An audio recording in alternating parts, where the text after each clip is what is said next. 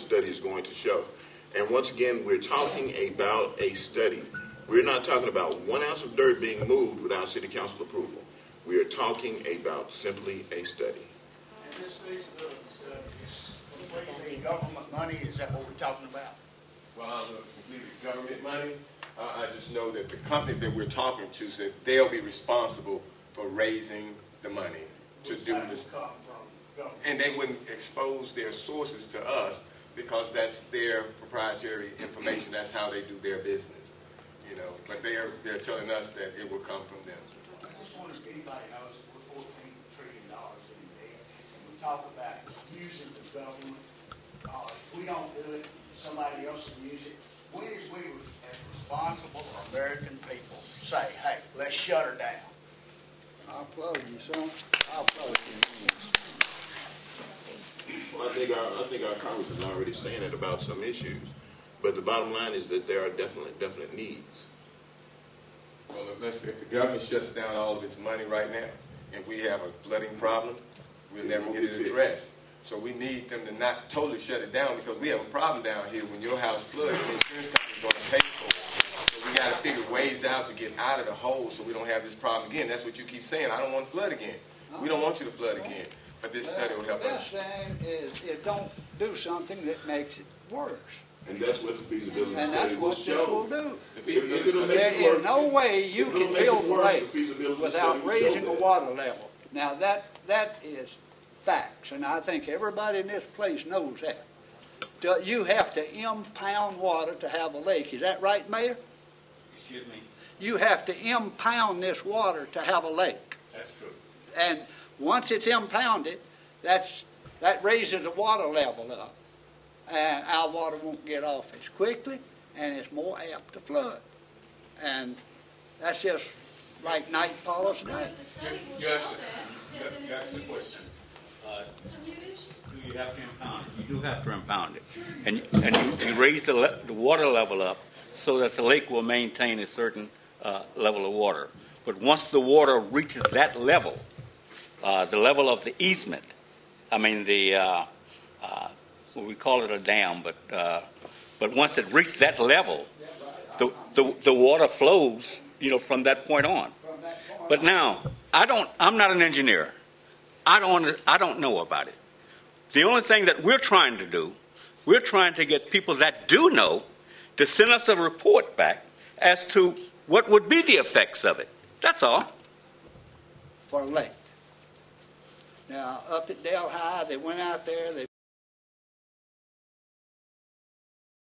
the Macon Ridge, they built a levee around it on three sides and built a nice lake, and that's wonderful. I wish we had a situation where we could do that. But what we're working with is Turkey Creek. We don't know that. We only want to get a study that will show whether it will work or it will not. And once again, we're not just talking about a lake. We're talking about a, we're talking about a, a, a, first-class golf course. We're talking about the creation of, of, of hunting areas for ga- for gamesmen. We're talking about we're talking about all of those different things. So, excuse me, sir. I didn't interrupt you when you were talking. Yes, sir. Uh, we're talking about all those different things. So there's more to it than just a lake. And, and, and some people brought up some things in, in, uh, in other areas. Well, quite frankly, Poverty Point is doing very well. Uh, I, I, I, pass by Lake Buhlow and, and, and Pineville all the time. Pineville's booming. I mean, it, it's you can build something, but it, it depends on what you do with it once you build it. And if, if it's done well, and if it's done properly, they've never had a, flooding issue with, with Lake Buhlow. I mean, and, and, and, and I lived there for a while. I was, I, you know, I, I worked Gustav. And, and the other areas where there was no water around, in Alexandria and Pineville, went underwater. But that area over there by Lake Buhlow and, and the Red River did not. So what I'm saying is when things are done properly, when, when, when, when proper studies and proper precautions are taken, those areas become some of the safest areas to live in around. I've, I've seen Buhlow, and looks almost like a natural lake to me.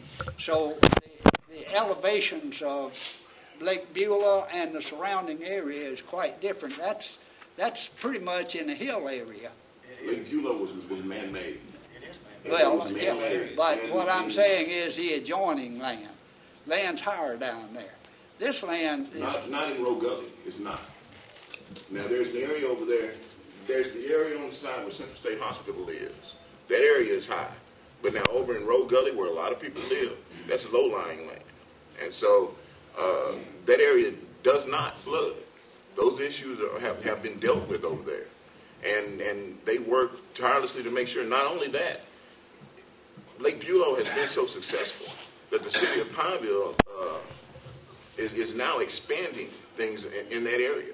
And I'm not talking about just on the part, the part where they're, where they're redoing the uh, Civil War Park.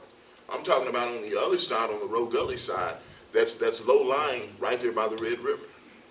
a lot of places flood when the rains come.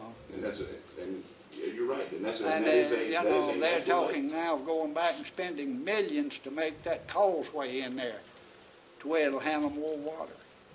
So I, I don't see how you're going to to impound water and not raise our water level behind these big rains. And one of the reasons why they haven't spent, spend millions of dollars is because people chose to build their homes around the natural lake. It's kind of like people building houses on the beach and then a hurricane hits and they don't expect it to flood and they don't expect their houses to get knocked down or anything like that. If you build it there, you're gonna have to deal with the, you're gonna have to deal with the consequences of building it there. So building a house on Lake D'Arbonne, it, it's a nice looking house. It's a beautiful place. You know, I, I love Lake D'Arbonne. But the bottom line is, if I chose to build a house there, those are some, there's some there's some potential consequences that I'm going to have to deal with if I choose to build a build a house on Lake D'Arbonne. The good thing about a, a man-made lake is this: from the from the from the very onset, studies are done to make sure certain things don't happen and, and, and things are prepared to deal with those issues. And if, and if they're done properly, and that's what the feasibility study will show, is it feasible? Can it be done? What will, what will the cost uh, be? What will the economic impact be? What will the environmental impact be? What will the economic impact be for Winnsboro and the surrounding communities? What will do? they- They'll go and ask you, do you want it? Uh, if, if you don't, and you say no, well, hey, I mean that, that's that's part of that's part of what what they're going to come back and tell people. All we're talking about is a simple study. I mean, to find out is it feasible. For all we know, this could this could change the very course of Winnsboro. This could really be something very special to, to make the citizens of Winnsboro very proud of their community. But we need to find out. We need to see. That's all we're saying. You know, I, I, I look around at places like Vidalia and places like that. They're booming. Why? Because they're looking into things. They're checking things out. They're, they're, researching things. One of the things that I, that uh, I was told today by several citizens from Vidalia is we have a very aggressive mayor.